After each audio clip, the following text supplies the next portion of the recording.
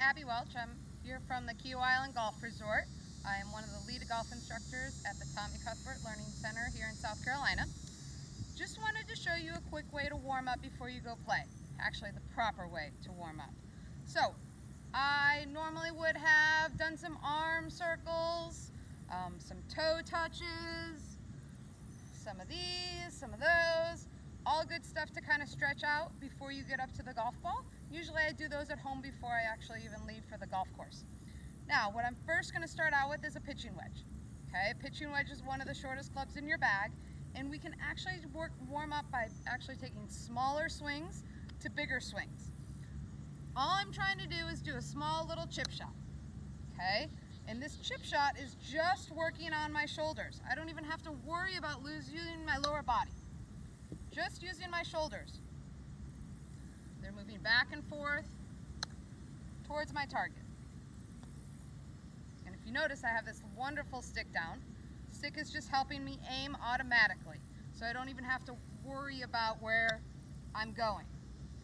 As I feel good with these chip shots, feel like my shoulders are really just warming up, moving back and forth, I'll go ahead and go to a half swing, otherwise known as a pitch.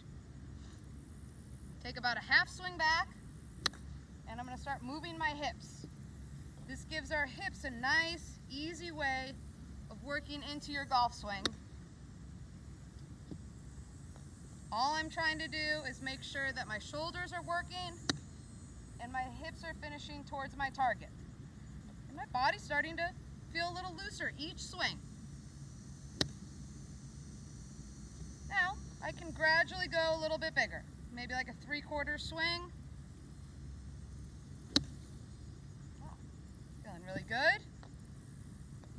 And sometimes hit one good shot, go bigger. Those are good. Feeling good.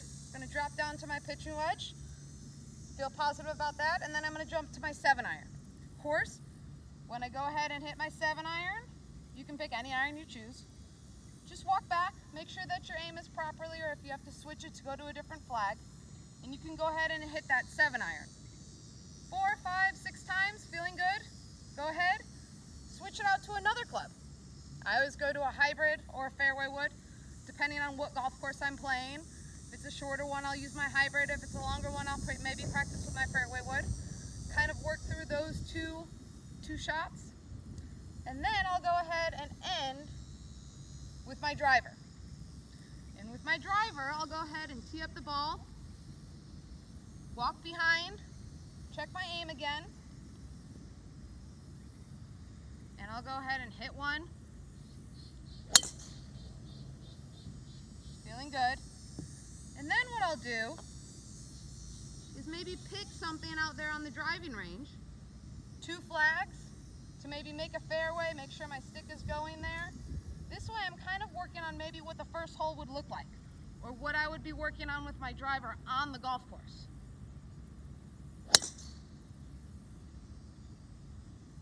Now that's so. Then, done with the stick.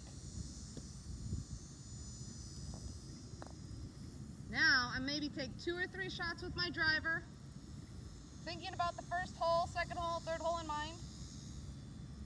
Walk up to it,